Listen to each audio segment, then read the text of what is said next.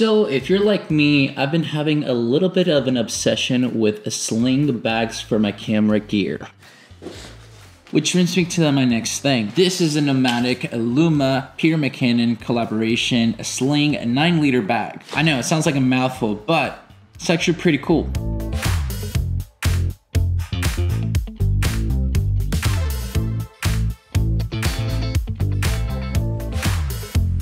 See, I personally bought the Nomatic Peter McKinnon Luma 18 liter rust camera bag because it just looks so nice with the color and the size of it just made so much sense for me because I had other bigger size of bags. And after creating some content with that bag and everything, Nomatic was very kind enough to send me out this little nice sling bag to do some content with because they just enjoyed my content and they support me as a creator.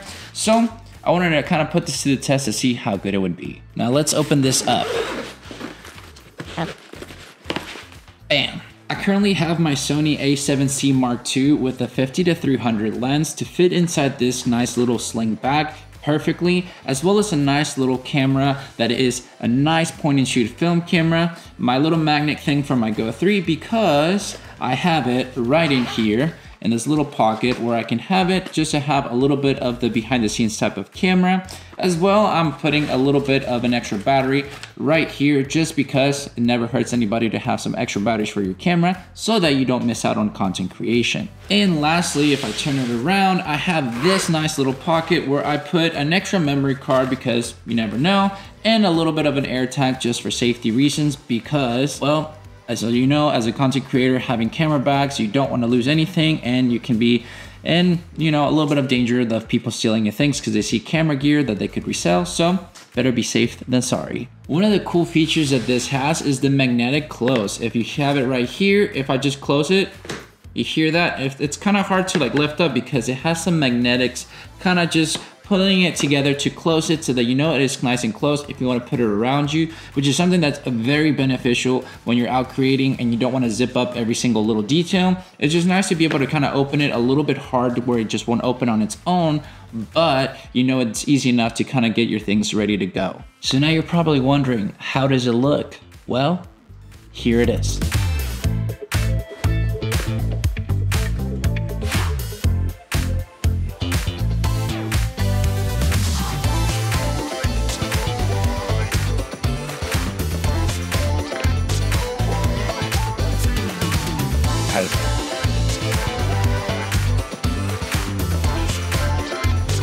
I'm not much of a model, but you get the point of it. So now if you're interested in getting one of these bags, the price of one of these ones is $120. But the price point of that is probably gonna be a little bit pricier than some other, you know, brands because of the collaboration with Peter McKinnon. Now, does that mean that it's not gonna be good enough quality? Well, no, it's going to be good quality. I've loved my Nomatic Luma 18 liter bag. To be honest, I probably use it way too much now because I did win the Peter McKinnon 35 liter bag a while back and I use it for longer trips, but for an everyday carry kind of type of small backpack that looks really good but has enough space for my storage for camera gear, my 18 liter has been amazing. So now for me, loving the color of it, loving the features of my 18 liter, having a 9 liter sling bag that is the same color and just the same kind of branding of it just makes so much sense to me. I know some of you might think and be a little bit skeptic because they sent me this product, but I am gonna talk about what I like and what I don't like about it. So don't worry about that. Not everything is positive because everything can have some room for improvement.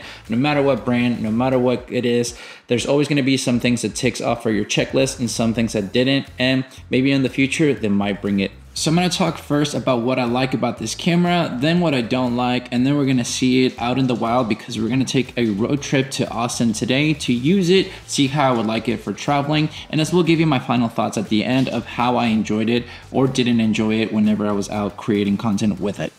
So, so far what I really like about this camera bag is just the size of it. Despite of it being a 9 liter bag, it doesn't feel overly big. It's very nice with the color and the features that it has. It's very minimalistic in a good way. To be honest, for me, what I like about having camera bags is that they don't look like a camera bag. And that with this one is very obvious that it's not really a camera bag to me at least.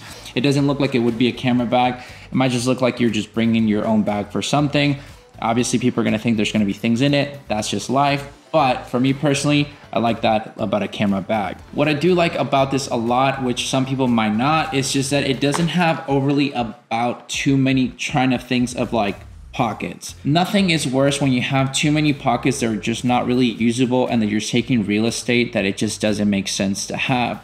For me, when it comes down to a sling bag, I don't need to have it where it has every little detail that I can bring so much gear because the purpose of a sling bag is to condense down. For me personally, having this amount of gear is perfect for just an out and about day of shooting where I want to have maybe my behind the scenes with my Go 3 so I can bring it with me. I have my camera for photos and maybe some video and maybe a film camera that I want to bring with me. I know personally I could probably fit another lens in here, but for the purpose of today, I'm not doing it since I'm going to be using it right now to film with this. Now, another thing that is really cool is just having that hidden kind of pocket right here. So if you want to put your keys, your wallet, for me, I just put an AirTag just to because I just want to hide it better. It's obviously very nice and it has a nice little handle if you really need to, you know, kind of handle it that way for just moving it across for whatever you need to. And it's adjustable and everything like that. Now, for a little bit of the con that I think is going to be a con for most people, despite of it being a 9 liter bag, it does feel smaller than what it would be with a 9 liter. I do enjoy that it's not a massive 9 liter bag because I have seen the Wonder bag that was a six to nine liter because I got the six liter. The nine liter just looked massive. And compared to this one, this nine liter does not look that big. And I'm gonna show you next to my six liter bag. So hold on a second. All right, so this is my Wonder bag. So I'm gonna show you a little bit of them side to side so you can get an idea. As you can tell, they're both very similar in size, which kind of baffled me a bit when I saw this one being a nine liter bag. Because if you don't believe me, here is the six liter sign of the Wonder bag right there. So yeah, it's crazy to see that this is a six liter versus a nine liter. And to be honest, the nine liter of this bag would have been massive compared to this one in sizing, I'm guessing, which they both have their pros and cons, like I said, so it just really depends on what you're after. This feels more like a traditional kind of pouch, if you know, like those kind of like I guess they call them kangaroo pouches that you might want to have like a fanny pack. That's what it feels like with this. This one is more like a bag center kind of feeling where like it just feels like you have something on you that you can open and kind of go where it's not maybe too much of a fanny pack style. So really it's just more an aesthetic preference. I like both to be honest. I like the aesthetic of this one for certain things and I'm liking this one for different styles as well. But enough rambling about showcasing this bag. We're gonna go put it to the real life test to take it out to go create some content and we're just gonna start our road trip to Austin. So with the YouTube magic, we'll see you there.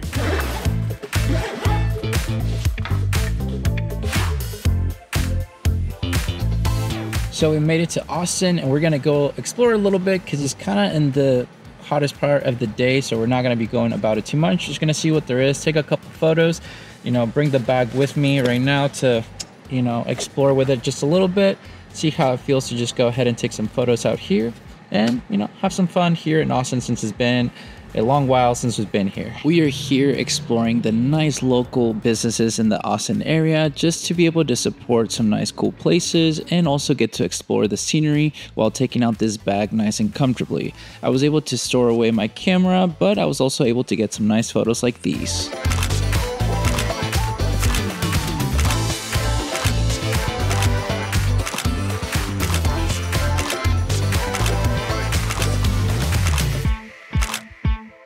So far using this bag has been very great. I like it a lot because it doesn't feel heavy at all. It feels really nice on the body and it's nice and easy to take my camera in and out of to just go ahead and take photos.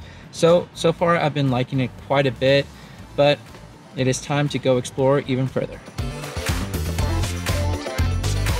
Well we're here in the downtown area in austin been nice to just bring this along with me and just be able to take some photos of the kind of cityscape, you know, skyline style.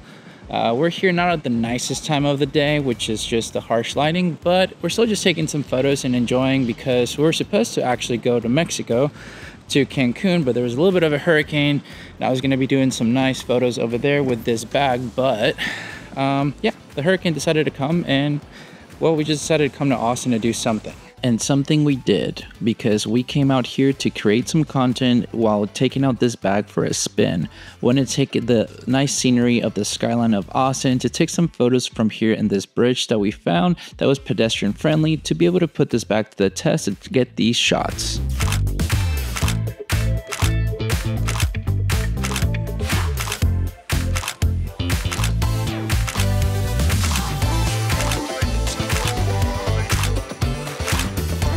Now that we're done taking some photos, it's time to keep moving along to test out this nice camera bag and just walk around with it to see how I feel about it, how it hangs and everything, find a spot to just relax, you know, have a little bit of a thought here and there. But anyways, let's check in with myself to see what I think about this camera bag so far. Pretty good.